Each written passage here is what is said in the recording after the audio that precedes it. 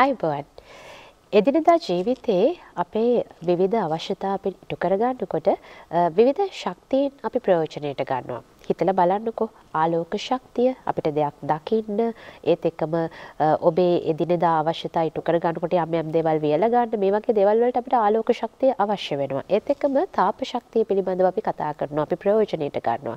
ඒත් එක්කම අපි ධ්වනි ශක්තිය ගැනත් කතා කරන අවස්ථා තියෙනවා. මේ විවිධ ශක්තියින් අපි එදිනෙදා ජීවිතයේ ප්‍රයෝජනෙට ගනිද්දී මේ ශක්තියින් එක තැනකින් තවත් තැනකට ගමන් කරන්නේ කොහොමද? හිතලා බැලුවොත් ඔබට මතක් වෙයි තරංගාකාරයකට මේ ශක්තියින් ගමන් කරන්නේ කරන්නේ. ඉතින් එහෙම තරංගාකාරයට මේ ශක්තියින් එක් තැනකින් තවත් තැනකට ගමන් කරද්දී අපි ආලෝක ශක්තිය ආලෝක තරංග විදිහට ධ්වනි තරංග ඒත් එක්කම ඔබ අනුරාධපුර පොළොන්නරුව වගේ පැතිවලට යනකොට අර මහා විශාල වැහුවල ජල රැලිති බොහොම අපූර්වට ඔබ රළනගනවා දැකලා තියෙනවා.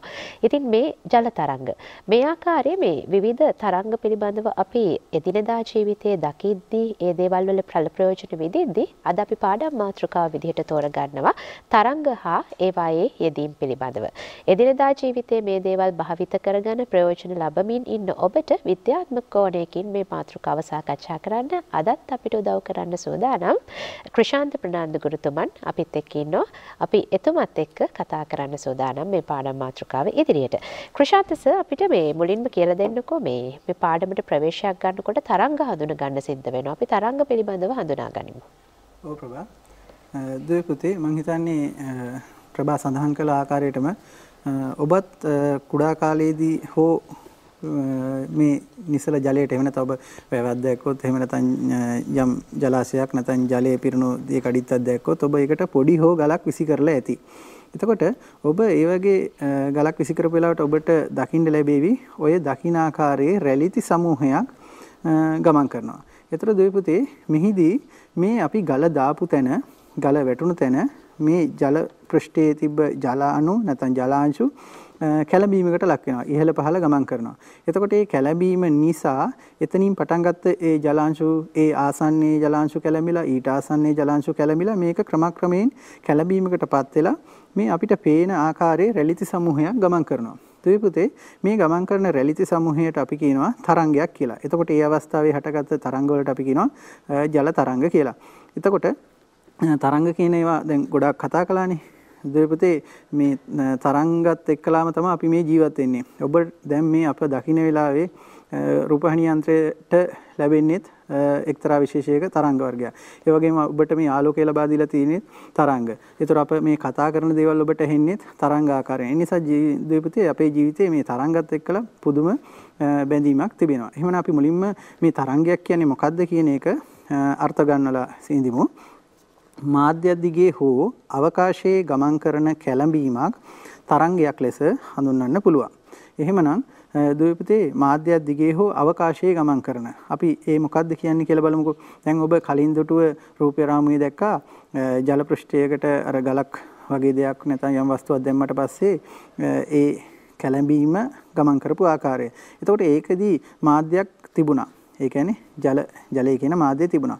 එහි වගේම අපි ගත්තොත් සූර්යාගේ සිට එන තාප කිරණ හා ආලෝක කිරණ ඒවට මාධ්‍යයක් අවශ්‍ය වෙන්නේ නැහැ. ඒ නිසා ඒවත් තරංග. එහෙමනම් ඒ විදිහට අපිට තරංග මාධ්‍යයක් දිගේ හෝ අවකාශයේ ගමන් කරන කැළඹීමක් තමයි තරංගයක් විදිහට හඳුන්වන්නේ. එහෙමනම් දැන් ඔබට පේනවා තරංග සඳහා උදාහරණ කිහිපයක්.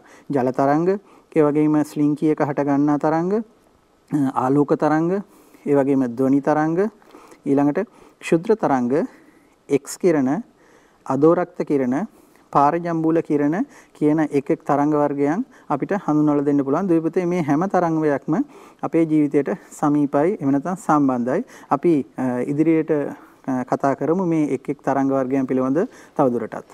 හොඳයි අපිට පුළුවන් ඒ ඔස්සේ කතා කරන්න කෘෂාන්ත සර් දැන් තරංග වර්ග කරන්න පුළුවන් ප්‍රධාන කොටස් කිහිපයකට අපිට ඒ පිළිබඳව කතා කරන්න පුළුවන් මේ තරංග වර්ගීකරණය පිළිබඳව.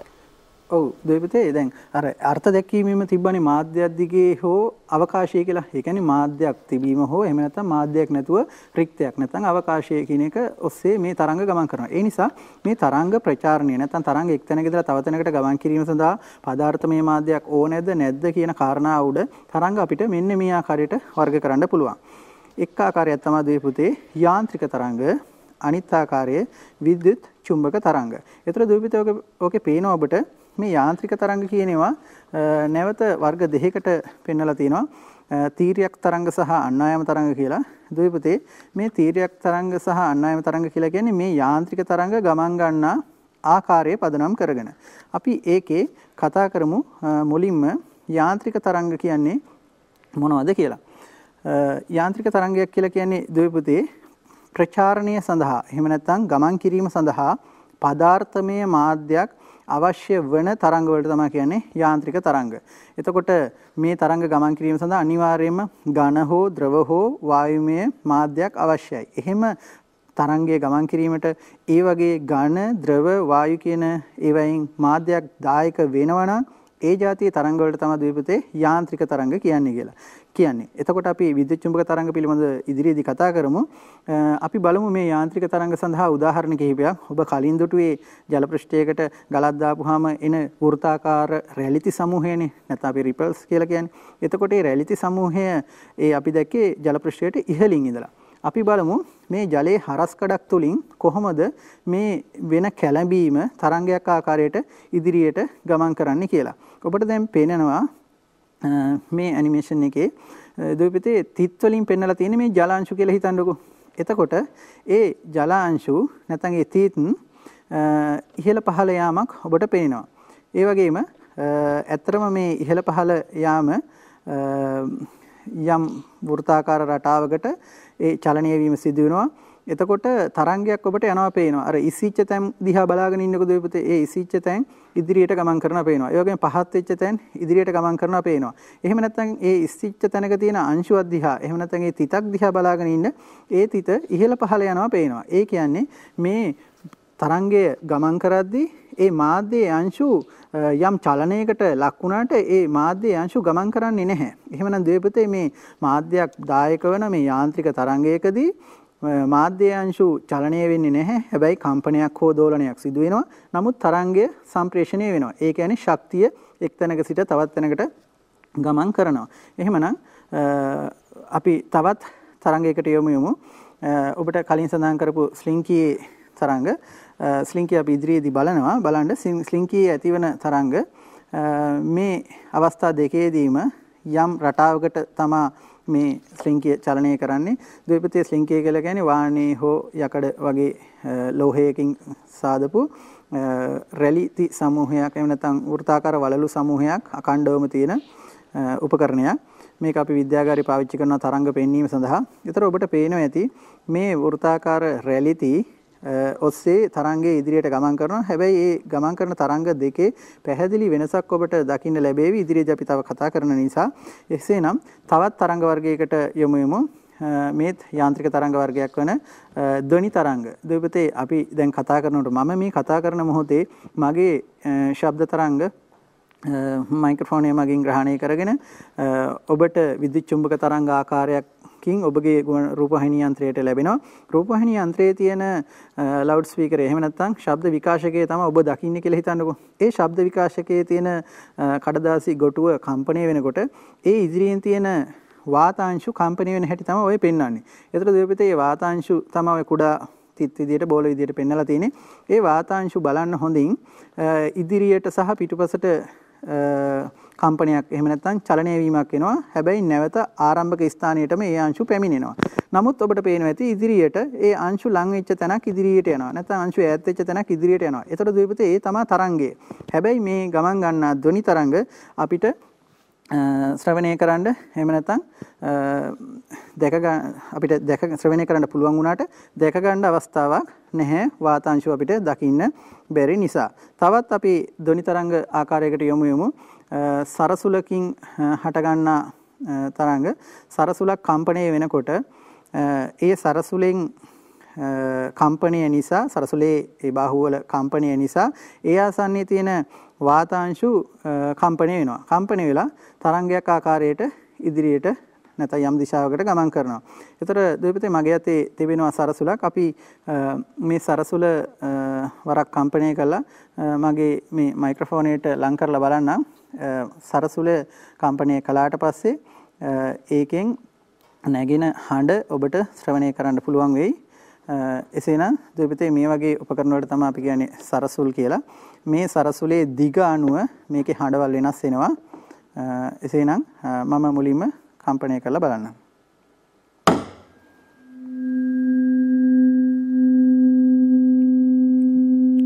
ඔබට මං හිතන්නේ ශ්‍රවණය කරන්න ලැබේවි. නැවත වරක් අපි බලමු.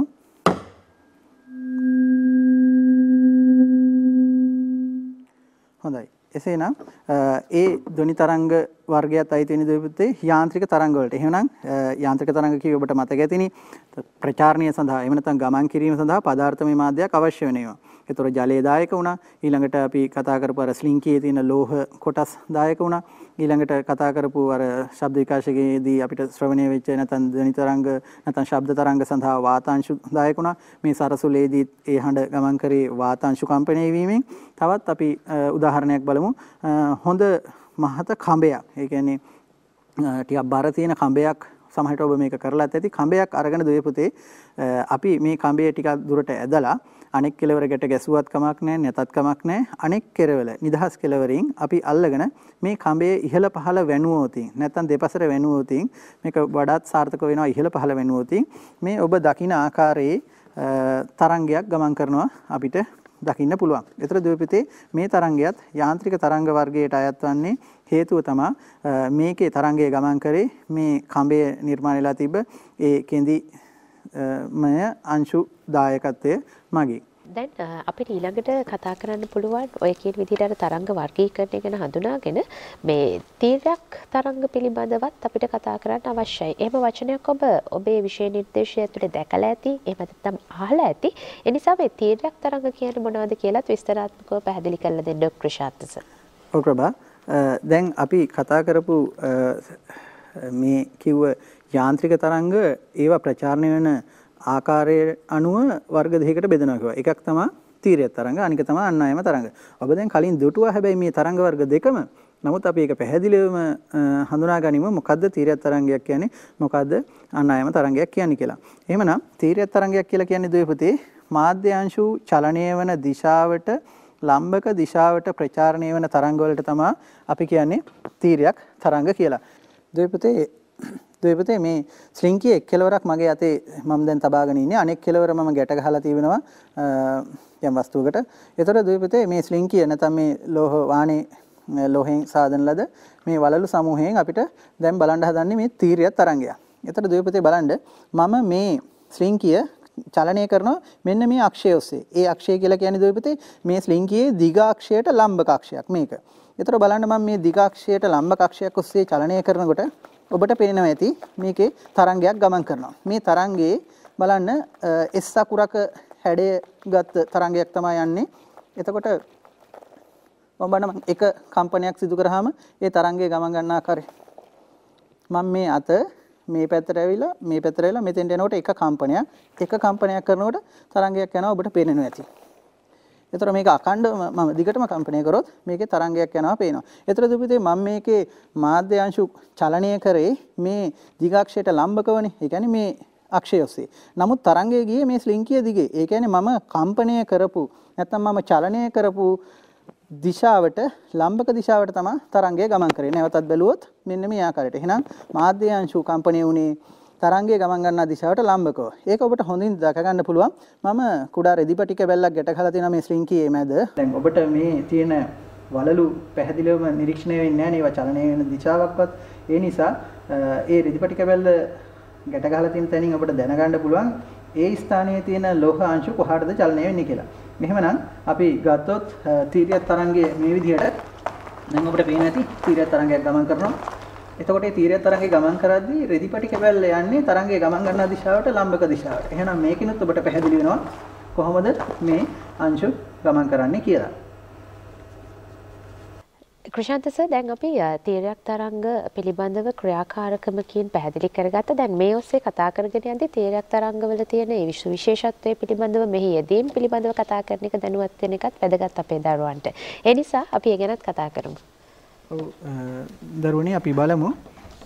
තීරයක් තරංගයකදී ඔබ දැන් දුටුවා තරංගය ගමන් ගන්නා දිශාවට ලම්බක දිශාවට තමයි මාධ්‍ය අංශු කම්පණය වුණේ. අපි ඒක සටහනකින් දක්වනවා නම් මෙන්න මේ ආකාරයට තමයි අපිට දක්වන්න පුළුවන් වෙන්නේ. ද්වීපතේ බලමු. අපි තීර තරංගයේ ගමන් ගන්න ආකාරය. බලන්න මාධ්‍ය අංශු කම්පණය වෙන දිශාව පෙන්වනවා ඒ වගේම තරංගයේ ගමන් ගන්නා දිශාව පෙන්වනවා ඊළඟට තව දුරටත් මේක පැහැදිලි කරගන්න පුළුවන්. ඇත්තටම කොහොමද මේ අංශු කොහොමද චලනය වෙන්නේ කියලා මෙන්න මේ සටහනින් බලන්න. තරංගය ඉදිරියට යනවා පේනවා බලන්න ඔබට අර ඊතල තියෙන හරිය තියෙන අර ඉස්සිච්ච තැනක් ඉදිරියට ගමන් කරනවා පේනවා. ඒ වගේම අර පහත් වෙච්ච තැනත් ඉදිරියට ගමන් කරනවා පේනවා. හැබැයි මාධ්‍ය අංශු ඊට ලම්බක දිශාවට යනවා. ඊ තල යොදලා ඊ හිසෙන් පෙන්නනවා ඒ අංශු කොහාටද චලනය වෙන්නේ කියලා. එතකොට දැන් අපි ජලයට ගලක් දාපුවාම ඒ ජල පෘෂ්ඨයේ ජලාංශ ওই විදිහට ඉහළ පහළ යාමක් සිදු වෙනවා. නමුත් තරංගය ඉදිරියට ප්‍රචාරණය වෙනවා. ඒතරදී පුතේ මේ තරංගයක මේ තීරයක් තරංගයකට තරංගයකදී ඉස්සිච්ච තැන් එහෙම නැත්නම් ඉහළට ආපු උපරිම ස්ථාන අපි ශීර්ෂ කියලා හඳුන්වනවා. ඒ වගේම පහතට ගමන් කරපු උපරිම ස්ථාන නැත්නම් අවම ස්ථාන ඒවට කියනවා අපි නිම්න කියලා. තීරයක් තරංග කීපයක් සඳහා එහෙනම් අපි උදාහරණ බලමු. අපි කලින් කතා කරපු ඒවාම තමා ද්වීපතේ අපි දැන් මේක වර්ග කරගෙන යනවනේ. එහෙමනම් එකක් තමයි ජල තරංග තව එකක් තමයි ස්ලින්කියේ හටගත්ත තීරයක් තරංග. ස්ලින්කියේ ආකාර දෙකටම අපි තරංග හටගන්නන්න පුළුවන්. එහෙනම් ස්ලින්කියේ හටගත්ත තීරයක් තරංග. ඒ වගේම අර ඇදි තන්තුවක එහෙම නැත්නම් කඹයක් වගේ දෙයක හටගන්නා තීරයක් තරංග. දැන් අපිට ඊළඟට කතා කරන්න පුළුවන් තීරයක් තරංග වලින් පසුව අන්න අන්වායාම තරංග පිළිබඳව. දැන් අන්වායාම තරංග කියලා කියන්නේ මොනවද කියලා හඳුන ගන්න එක අපිට වැදගත්. ක්‍රිෂාන්ත සර්. දෙපුතේ තීරයක් තරංග වලට සාපේක්ෂව මේ අන්නායම තරංගවලදී තරංගයේ ගමන් ගන්නා දිශාවටම තමයි මාධ්‍ය අංශු චලනය වෙන්නේ. එහෙමනම් අපි අන්වායම තරංග මේ ආකාරයට හඳුනා ගනිමු. තරංගයේ ගමන් කරන දිශාවට සමාන්තරව මාධ්‍ය අංශු දෝලණය වන්නේ නම් එවැනි තරංග අන්නායම තරංග විදිහට හඳුන්වනවා. ඒතර දෙපොතේ අපි මේ අන්නායම තරංගයක් ප්‍රායෝගික ක්‍රියාකාරකමක් ඇසුරින් බලමු. ඒ අන්නායම තරංගය කොහොමද ගමන් කරන්න කියලා මේ ස්ලින්කිය ඇසුරෙන්. අපි බලමු දේපතේ අන්නායම තරංගයක් කොහොමද ගමන් කරන්නේ කියලා. අන්නායම තරංගයකදී බලන්න දේපතේ මේ ස්ලින්කියේ මම කම්පණය කරන්නේ ස්ලින්කියේ දිගාක්ෂය ඔස්සේ. ඒ කියන්නේ මේ දිශාව ඔස්සේ. එතකොට ඒ දිශාව ඔස්සේ කම්පණය කළාම බලන්න මේක යනවා තරංගයක් මේ ස්ලින්කිය තියෙන ලෝහාංශු ලං වෙන තැන් තියෙනවා ඈත් වෙන තැන් තියෙනවා ඊට පස්සේ ආය ලං වෙන තැන් තියෙනවා ඈත් වෙන තැන් තියෙනවා ඒ ඔස්සේ අපිට පේනවා තරංගයක් යනවා එතකොට මේ යන තරංගය අන්නායම තරංගයක් ඒ අන්නායම තරංගයේදී අංශු ලං වෙච්ච තැන් තියෙනවා ඒවට අපි සම්පීඩන කියනවා අංශු ඈත් වෙච්ච තැන් තියෙනවා ඒවට අපි විරලන කියලා කියනවා. එහෙනම් මම මේ ශ්‍රේණිකයේ දිගාක්ෂය ඔස්සේම අංශු කම්පණය කරනවා. ඒතර බලන්න තරංගය යන්නේ ඉදිරියට. එහෙමනම් තරංගය යන දිශාවටම මාධ්‍ය අංශු කම්පණය වෙන නිසා මේවට අපි කියනවා අන්නායම තරංග කියලා.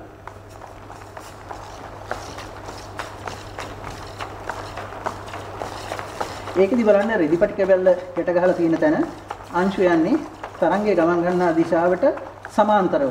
ඒ දිශාවටම ඉදිරියට සහ පිටුපසට යන ආදී වශයෙන්. ඒතර දීපුතේ මේ විදිහට ගමන් ගන්නා තරංග වලට තමයි අපි කියන්නේ අන්නායම තරංග කියලා. ඒ වගේම අන්නායම තරංගයකදී අංශු කම්පණය වන ආකාරය බලන්න එහෙම නැත්නම් අංශු දෝලණය වෙන ආකාරය බලන්න තරංගයේ ගමන් ගන්නා ආකාරයත් බලන්න ඒ දෙකම එකිනෙකට සමාන්තරව සිද්ධ වෙන්නේ. මීළඟට අන්නායම තරංග සඳහා උදාහරණ කීපයක් බලන්න මත්තෙන් අපි බලමු තවත් අවස්ථාවක් මේ වාතය තුලින් ගමන් ගන්නා තරංගයක් නැත්නම් ධ්වනි තරංගයක් කියත්පටියක් වැනි දෙයක් කම්පණය වෙන විට එහෙම නැත්නම් වෙනත් වස්තුවක් කම්පණය වෙන විට එහෙම නැත්නම් වාහනයක එන්ජිමක් කම්පණය වෙන විට එහෙම නැත්නම් සීනුවක් කම්පණය වෙන විට ওই විදිහට තමයි ද්වීපුතේ වාතය තුලින් ධ්වනි තරංගය ගමන් කරන්නේ. ඒතකොට බලන්න ඒකේ අංශු ලං වෙච්ච තැන් තියෙනවා, අංශු ඈත් වෙච්ච තැන් තියෙනවා. එහෙමනම් ඒ අන්නායම තරංගයක්. දැන් අපි බලමු තීරයක් තරංගයි අන්නායම තරංගයි දෙකම ඉගෙන ගත්ත හින්දා ප්‍රභා අපි දෙකම සංසන්දනාත්මකව පෙන්වුවොත් මේ විදිහට පෙන්වන්න පුළුවන් තරංගයේ ගමන් ගන්නා දිශාවට ලම්බකව කම්පණය වෙදී ඒක තීරයක් තරංගයක් තරංගයේ ගමන් ගන්නා දිශාවටම මාධ්‍යංශු දෝලණය වෙනවා නම් කම්පණය වෙනවා නම් ඒක අන්නායම තරංගයක්. ඒ වගේම අන්නායම තරංගයකදී ද්වීපතේ ඔබ ස්ලින්කියේදී දුටුවා මේ අන්නායම තරංගේ අර රැලිති ලං වෙලා තිබ්බ තැන්. එහෙම නැත්නම් අපි අර වාතය තුලින් යන ධ්වනි තරංගයක දුටුවා අංශු ලං වෙච්ච තැන්. ඒ අංශු ලං වෙච්ච තැන් වලට අපි කියනවා සම්පීඩන කියලා. ඒ වගේම අංශු ඈත් වෙච්ච තැන් වලට අපි කියනවා විරලන කියලා. එතකොට ද්වීපතේ තරංගයේ ඉදිරියට ගමන් කරද්දී මේ සම්පීඩන සහ විරලන ඉදිරියට ඇදිලා යනවා. ඊළඟට අන්නායම තරංග සඳහා උදාහරණ විදිහට එහෙමනම් අපි අර කලින් කතා කරපු ඒවායින් ඉතුරු වෙච්ච තරංග වර්ග වන ස්ලින්කියේදී හටගන්නා අන්නායම තරංගත් ධ්වනි තරංගත් අපිට දක්වන්න පුළුවන්. කෘෂාන්තස දැන් මේ තරංග හා සම්බන්ධව යෙදෙන මේ භෞතික රාශිය පිළිබඳවත් අපේ දරුවෝ දැනුගත් වෙන එක වැදගත්. ඒ නිසා අපිට ඒ පිළිබඳවත් පැහැදිලි කරලා දෙන්නකො මොනවද මේ තරංග හා සම්බන්ධව තියෙන භෞතික රාශිය? ප්‍රදීපිතේ මේ තරංගවල නැත්නම් මේ තීරය තරංග සහ අන්නායම තරංග දෙආකාරයේදීම මේ භෞතික රාශි කීපයක් අපි කතා කරනවා. ඒ භෞතික රාශි වඩාත් පැහැදිලිව දරුවන්ට හඳුනා දීම සඳහා නැත්නම් ඒක පැහැදිලි කර දීම සඳහා අපි තීරය තරංගයක් යොදාගෙන ඒ ගැන කතා කරමු. බලන්න දීපිතේ මේ තීරය තරංගයේ දැන් ඔබ දුටුවනේ S අකුරක හැඩයට තමයි මේ අකණ්ඩව යන්නේ මේ තරංගය. ඒකෙදි බලන්න එක අර S අකුරක හැඩය ගන්නා කොටසකට අපි කියනවා එක් තරංගයක් කියලා. ඒ වගේම මේකේ මේ තරංගයේ ඉහළට ඇති වෙන උපරිම ස්ථාන අපි ශීර්ෂ කියලා හඳුන්වනවා. ඒ වගේම පහළට ඇති වෙන උපරිම ස්ථාන අපි නිම්න කියලා හඳුන්වනවා. ඒ වගේම මේ ශීර්ෂ දෙකක් අනුයාත එහෙම නැත්නම් එක ළඟ තියෙන ශීර්ෂ දෙකක් අතර දුරට අපි තරංග ආයාමය කියලා කියනවා. ඒ වගේම ඕන්නම් අපිට කියන්න පුළුවන් එක ළඟ තියෙන නිම්න දෙකක් අතර පරතරයටත් තරංග ආයාමය. එහෙම නැත්නම් අර අංශවල මධ්‍ය පිහිටුම පෙන්වන රේඛාවේ ඒ එකම ස්ථානයේ පිහිටීම සහ එකම චලිත දිශාව දක්වන අංශු දෙකක් අතර පරතරයටත් අපි තරංග ආයාමය කියලා දක්වන්න පුළුවන්. ඒ වගේම මේ තරංගයක ඉහළට හෝ පහළට ඇති වෙන උපරිම විස්ථාපනයට අපි කියනවා විස්තරය කියලා. එහෙමනම් අපි ඒ කිව්ව රාශි ටික දුපතේ තවදුරටත් මේ විදිහට අපි විස්තර කරමු. මුලින්ම තරංග විස්තරය. තරංග විස්තරය කියලා කියන්නේ තරංගයක චලිතයට සහභාගී වන අංශු මධ්‍ය පිහිටුමේ සිට සිදු කරන උපරිම විස්ථාපනය තමා තරංග විස්තරය කියලා කියන්නේ. ඔබ දුටුවා කලින් ඒ කියන්නේ අර ශීර්ෂ මධ්‍ය පිහිටුමේ ඉඳලා ශීර්ෂය දක්වා හෝ මධ්‍ය පිහිටුමේ සිට නිම්නය දක්වා තියෙන විස්ථාපනයට තමයි කියන්නේ විස්තරය කියලා. ඊළඟට තරංග ආයාමය. තරංග ආයාමය කියලා කියන්නේ තරංග චලිතයට සහභාගී වන එක් අංශුවක සිට එම චලිත ස්වභාවයේම පවතින ආසන්නතම අනෙක් අංශුවට ඇති දුරට තමයි ද්වීපතේ තරංග ආයාමය කියලා කියන්නේ. ඒතර මේ තරංග ආයාමය ලැම්ඩා කියලා සංකේතයකනොත් අපි දක්වනවා. ඊළඟට මේ තරංගයක් සම්බන්ධව කතා කරනවා අපි ආවර්ත කාලය කියලා එකක්. ආවර්ත කාලය කියන්නේ මේ තරංගයකදී එක් අංශුවක් විසින් සම්පූර්ණ දෝලනයක් නැත්නම් සම්පූර්ණ චලිතයක් සිදු කරන්නේ ගත කරන කාලයට තමයි කියන්නේ ආවර්ත කාලය. ඒක අපි කැපිටල් T අකුරකින් දක්වනවා. ඒ කියන්නේ එක අංශුවක් දැන් අපි කතා කරොත් එහෙම දෙවිපත අපි ස්ලින්කියේදී අර තීරය තරංග හට ගන්නද්දී ස්ලින්කියේ මැද ඉඳලා වම් පසට උපරිම ගිහිල්ලා ඊට පස්සේ මැද හරහා දකුණු පසට උපරිම ඇවිල්ලා ආපහු මැදට ආවහම තමයි එක තරංගයක් කියන්නේ. එතකොට ඒකට ගත වෙච්ච කාලය තමයි ආවර්ත කාලය. ඊළඟට සංඛ්‍යාතය. එක් අංශුවක් විසින් ඒකක කාලයකදී සිදු කරන දෝලන සංඛ්‍යාවට තමයි සංඛ්‍යාතය කියලා කියන්නේ. ඒක අපි සිම්පල් F අකුරෙන් හඳුන්වනවා. එතකොට අපි සාමාන්‍යයෙන් මේක ගණනය කරන්නේ තප්පරයකදී සිදු කරන දෝලන සංඛ්‍යාව. නැත්නම් තප්පරයකදී සිදු කරන කම්පන සංඛ්‍යාව. ඊළඟට තරංගයක වේගය. වේගය කියලා කියන්නේ ද්වීපතේ මේ තප්පරයකදී තරංගය ගමන් ගන්නා දුරට තමයි තරංගයේ වේගය වෙන්නේ. ඒතර මේ වේගය අපිට ලැබෙනවා තරංගයේ වේගය ලැබෙනවා මේ සංඛ්‍යාතය සහ තරංගායාමය කියන දෙකේ ගුණිතයෙන්. එතකොට ඒක අපි සමීකරණයක් විදිහට v සමානයි f ලැම්ඩා කියලා දානවා. f කිව්වේ සංඛ්‍යාතය, ලැම්ඩා කිව්වේ දෙපතේ තරංගායාමය. එහෙනම් සංඛ්‍යාතයේ සහ තරංගායාමයේ ගුණිතය තමයි අපිට තරංගයේ වේගයේ විදිහට ලැබෙන්නේ. අපි ඒ සඳහා සරල ගැටලුවකට යමු යමු මේ සංඛ්‍යාතයේ සහ තරංගායාමයේ ඇසුරෙන් කොහොමද තරංගයක වේගය හොයන්නේ කියලා. සංඛ්‍යාතය හර්ට්ස් 256ක් වන තරංගයක තරංගායාමයේ මීටර් 3ක් වන්නේ නම් එහි වේගය සොයන්න බලමු. ඒතර දෙවිපතේ මේ සඳහා අපිට සංඛ්‍යාතයක් දීලා තිනවා තරංගායාමයක් දීලා තිනවා. එහෙනම් අපිට පුළුවන් v සමානයි f ලැම්ඩා කියන සමීකරණයට ආදේශ කරලා මේ පිළිතුර සොයාගන්න. එතකොට සංඛ්‍යාතය සඳහා හර්ට්ස් 256කුත් ලැම්ඩා එහෙම නැත්නම් තරංග ආයාමය සඳහා මීටර් 3ක් වශයෙන් උද්දාලා මේ දෙකේ ගුණිතය 768යි ms ඍණ 1. ඒ කියන්නේ තප්පරයට මීටර් 768 විදියට අපිට ලබා ගන්න පුළුවන්. ඒතර දෙවපතේ යම් තරංගයක සංඛ්‍යාතයත් තරංගයේ වේගයක් දුන්නා නම් අපිට පුළුවන් ඒකේ තරංග ආයාමය සොයන්න. එහෙම නැත්නම් යම් තරංගයක වේගයත් තරංග ආයාමයක් දුන්නොත් සංඛ්‍යාතයත් සොයන්න පුළුවන්. හොඳයි දැන් අපි තරංගවල යෙදීම් පිළිබඳව කතා කරමින් ඉන්න වෙලාවේ උදේ පාන්දරින්ම අවදි වෙලා අපිත් එක්ක එකතු වෙලා ඉන්න ඔබට පුංචි විවේකයක් ඕනේ කියලා අපි දන්නවා. හැබැයි මේ විවේකය අපි ඵලදායී විදියට යොදාගමු කියලාත් මම ඔබට යෝජනා කරනවා. ඔබ ඔතනම ඉඳලා අපි මේ විවේකයට දෙන මෙන්න මේ දර්ශන පෙළ නැරඹුවොත් ඔබේ මනස තවත් අවදි වෙනවා. පෘථිවියට සමාන තවත් ග්‍රහලෝක තියෙන්න පුළුවන්ද. පෘථිවිය වගේම පෘථිවියේ විශාලත්වයට සමාන පෘථිවියේ තියෙන ස්වභාවය ස්වරූපයට සමාන තවත් ග්‍රහවස්තුන් තියෙන්න පුළුවන්ද. මේ ගැනත් විද්‍යාඥයෝ හොයාගෙන හොයාගෙන යනවා. මේ පර්යේෂණාත්මක ලෝකයේ අලුත් සොයා ගැනීම ගැන දැනගන්න ඔබටත් ඉඩකඩ ජාතික පාසල විද්‍යාව වැඩසටහනින් අපි උදා කරලා දෙනවා මේ සෝදානම අන්න එවන් අවස්ථාවකට ඔබ එක් කරගන්න.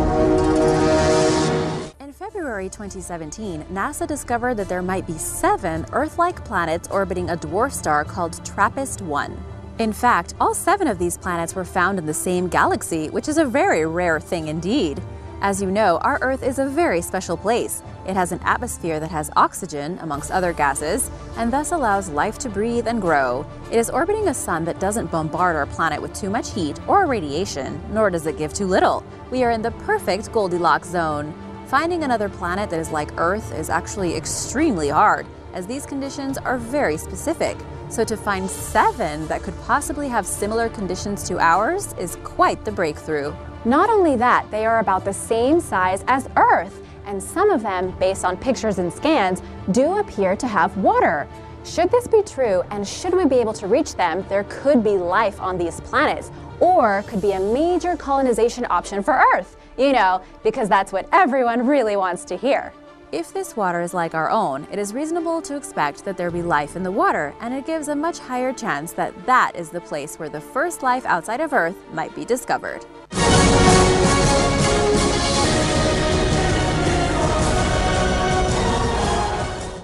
පලදායි විවේකයකින් පසුව අපි නැවතත් පාඩම් මාතෘකාවට යමු වෙනකොට අපි හිතුවා මේ විද්‍යුත් චුම්බක තරංග පිළිබඳව ක්‍රෂාන්ත සර් එක්ක සාකච්ඡා කරන්න. අපි කතා කරනවා විද්‍යුත් චුම්බක තරංග පිළිබඳව. ඒතර දෙවපතේ විද්‍යුත් චුම්බක තරංගයක් කියලා කියන්නේ මෙන්න මෙහිමයි. එකිනෙකට ලම්බකව දෝලණය වන විද්‍යුත් ක්ෂේත්‍රයකට හා චුම්බක ක්ෂේත්‍රයකට ලම්බකව ගමන් ගන්නා විද්‍යුත් හා චුම්බක ගුණ සහිත තරංග විද්‍යුත් චුම්බක තරංග කියලා හඳුන්වනවා. ඒතර දෙපතේ අපි මෙහෙම කතා කරලා ඉමුකෝ. මේකෙදි විද්‍යුත් ක්ෂේත්‍රයක් කම්පණය වෙනවා. ඒ වගේම චුම්බක ක්ෂේත්‍රයක් කම්පණය වෙනවා ඒකට ලම්බක දිශාවට.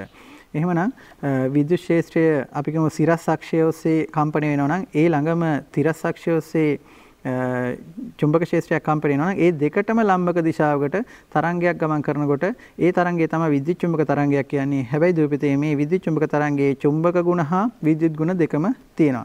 එසේනම් බලන්න ඔබ දකින නිල් පාටින් සහ රතු පාටින් පෙන්වලා තියෙන්නේ නිල් පාට විද්‍යුත් ක්ෂේත්‍රය කියලා සලකමුකෝ. එතකොට නිල් පාට විද්‍යුත් ක්ෂේත්‍රයේ වම් පැත්තේ කෙළවරේ ඔබට පේනවා ඇති තිරස් අක්ෂය ඔස්සේ වමට සහ දකුණට කම්පණය වෙනවා. ඒ නිසා තීරියක් තරංගයක් හට ගන්නවා ඉදිරියට.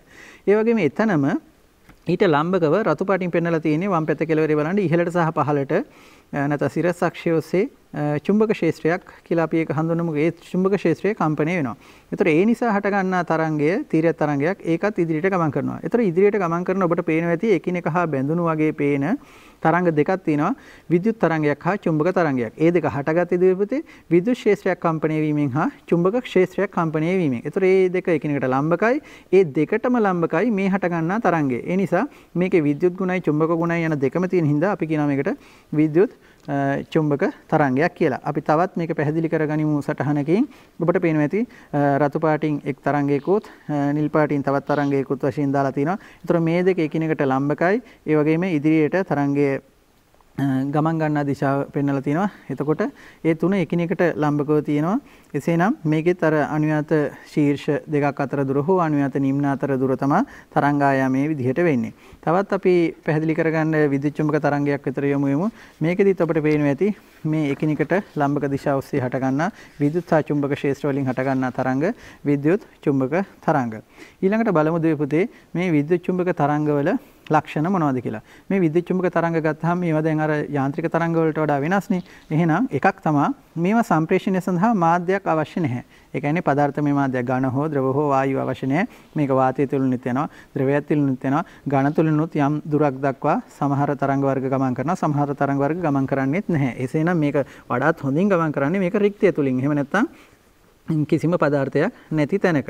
ඒ වගේම මේක රික්තයේදී තුන වැඩි කිරීම නැත්නම් තුන ගුණ කිරීම 10 8 වෙනි බලය තප්පරයට මීටර් මෙච්චර ප්‍රමාණයක් කින් මේක ගමන් කරනවා. ඒ කියන්නේ ප්‍රවේගය මේ වගේ ඉතා විශාල ප්‍රමාණයක්. තප්පරයට මීටර් මෙච්චර ප්‍රමාණයක්. දුවපතේ මේක අපි 3.8ක් ලියාගත්තාම එන්නේ තප්පරයට මීටර්. ඊට පස්සේ අපි ඒක කිලෝමීටර කරන්න ඕන නම් මේක 1000න් බෙදුවොත් එනවා දුවපතේ තප්පරයට කිලෝමීටර් ලක්ෂ 3ක්. ඒ කියන්නේ එක තප්පරයක් තුළදී මේ විද්‍යුත් චුම්බක තරංගයක් කිලෝමීටර් ලක්ෂ 3ක් දුර යනවා. එසේනම් සූර්යාගේ සිට එන මේ ආලෝක කිරණ තාප කිරණ එක තප්පරයට කිලෝමීටර් ලක්ෂ 3 බැගින් ගමන් කරමින් තමයි ලැබෙන්නේ. ඊළඟ අනෙත් ලක්ෂණය තමයි බාහිර විද්‍යුත් හා චුම්බක ක්ෂේත්‍ර මගින් මෙම තරංගවලට බලපෑමක් සිදු වෙන්නේ නැහැ සිදු කරන්න බෑ.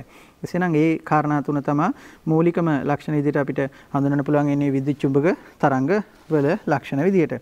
ඊළඟට බලමු දෙවිපතේ අපි එදිනදා ජීවිතයේදී අපිත් එක්කලා මේ තියෙන අර තරංග වර්ග වලින් කතා කරපු ඒවායින් ඉතිරි තරංග වර්ග ටික විද්‍යුත් චුම්බක තරංග වලට වැටෙනවද කියලා බලන්න අපි විද්‍යුත් චුම්බක තරංග සඳහා උදාහරණ එකක් තමයි ගුවන්විදුලි තරංග. ඒතර දෙවිපතේ ගුවන්විදුලි තරංග ගුවන්විදුලි තරංග කිව්වහම මේ ගුවන්විදුලි තරංගත් එක්කලාම තමයි රූපවාහිනී තරංග තියෙන්නේ. ඒවායේ සංඛ්‍යාත පරාස දෙකක් ඔස්සේ තමයි අපිට ඒ තරංග ලැබෙන්නේ.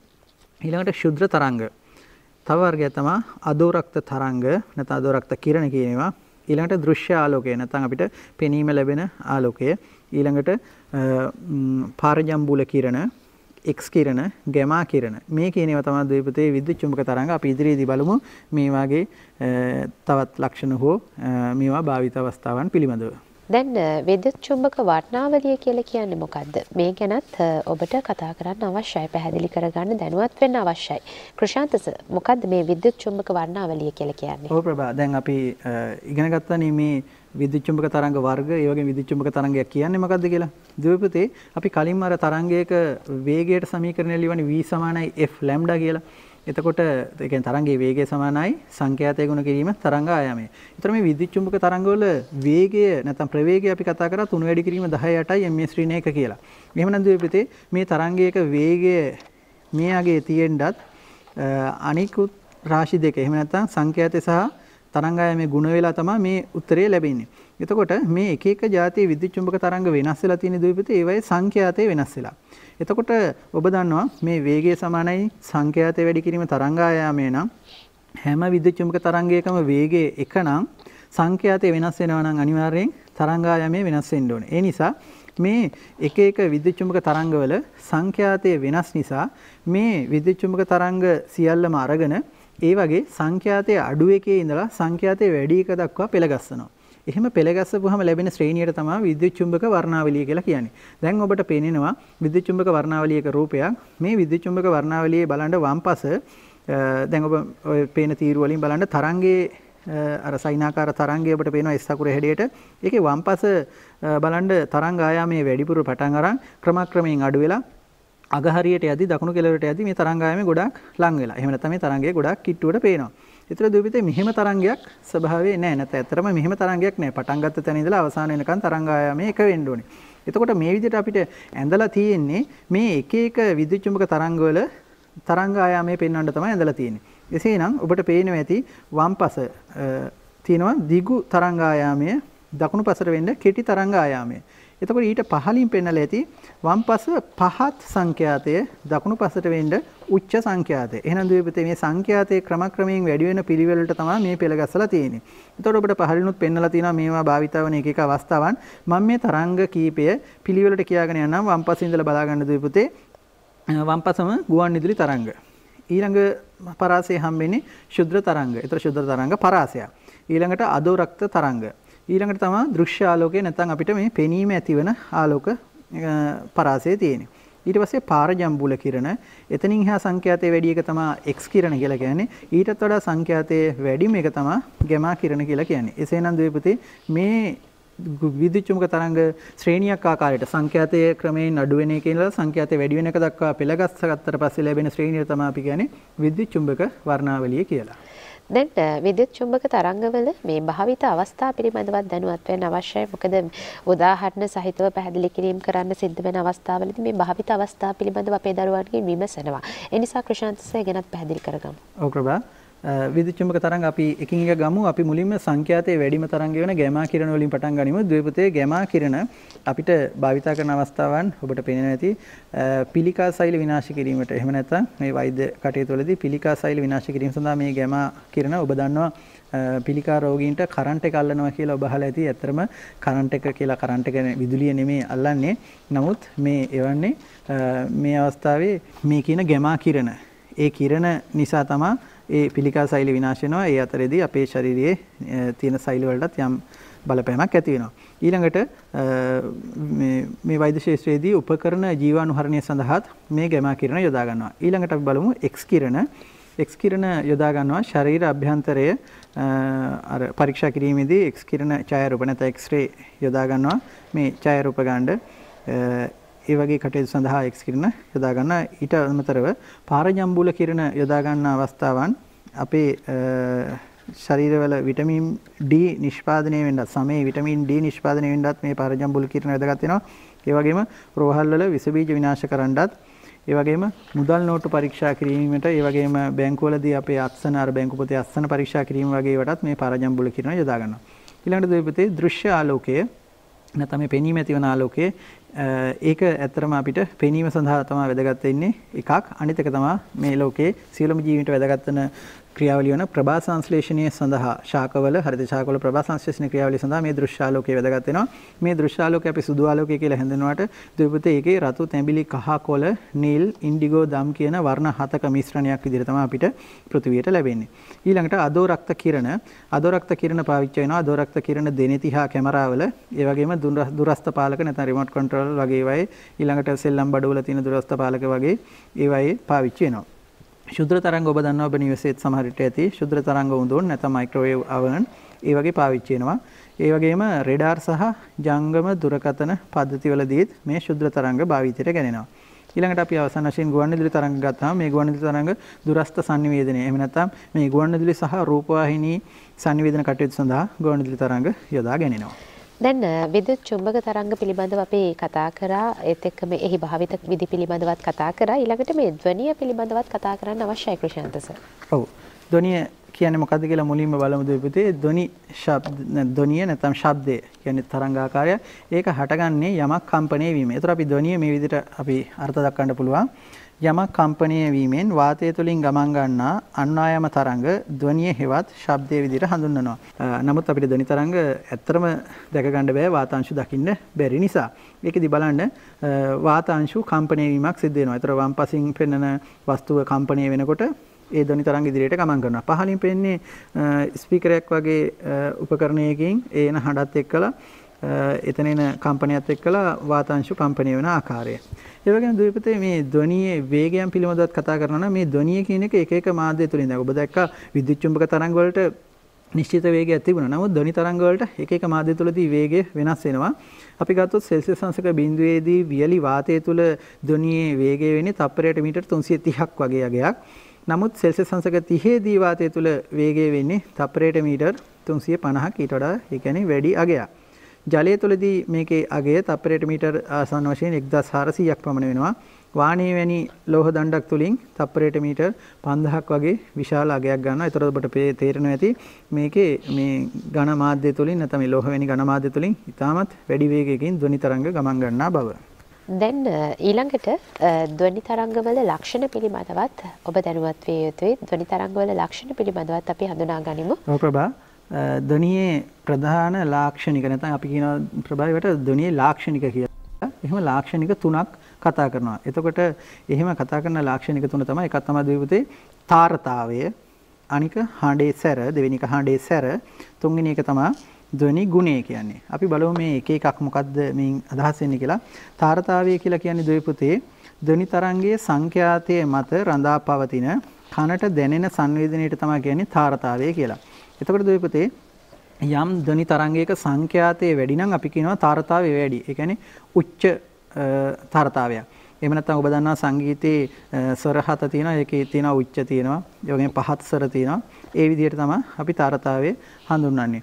එතකොට අපි ගත්තොත් එහෙම මේ තාරතාවය හඳුනගන්න අර සරසුලෙන් ඔබට මම පෙන්නන්නම් මේ සරසුලේ සංඛ්‍යාතය අඩු සංඛ්‍යාතයක් තියෙන්නේ මේ විශාලකේ මේකේ සංඛ්‍යාතය වැඩි එකක් තියෙන්නේ මම මේ දෙකම කම්පණය කරලා මයික්‍රොෆෝනයට අල්ලන්න බලන්න ඔබට නැගෙන හඬ මේකේ එක වගේද වෙනස්ද කියලා. ඒතර මේ වෙනස් හඬවල් ලැබෙන්න හේතුව ඒකේ තාරතාවය එකිනෙකට වෙනස් වීමයි. ප්‍රථමයෙන්ම මේ සරසුල කම්පණය කරන්න.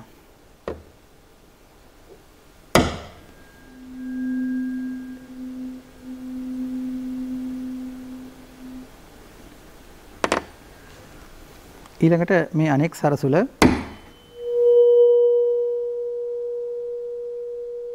හිතන්නේ ඔබට හඬවල් දෙකක් ලැබෙන්න ඇති. ඊළඟට හඬේ සැර කියන ධ්වනි ලාක්ෂණිකය ගැන කතා කළොත් ද්වීපතේ හඬේ සැර කියලා කියන්නේ ධ්වනි තරංගයේ රැගෙන යන ශක්තිය අනුව කනට දැනෙන සංවේදනය තමයි හඬේ සැර කියලා කියන්නේ. ඒතර ද්වීපතේ අපි බෙරයක් වගේ එකක් අරගෙන තට්ටු කළොත් ඒ බෙරේ යම් හඬක් ලැබෙනවනේ. නමුත් මේ බෙරේට හයියෙන් තට්ටු කළොත් ඒත් එන හඬ එකයි. ඒ හඬ එකයි කියන්නේ තාරතාවය එකයි. හැබැයි අපි හෙමින් තට්ටු කළාම හඬේ සැර අඩුයි. හයියෙන් තට්ටු කරාම හඬේ සැර වැඩි. ඊළඟට අනෙක් ධ්වනි ලාක්ෂණිකය තමයි ධ්වනි ගුණය කියන එක.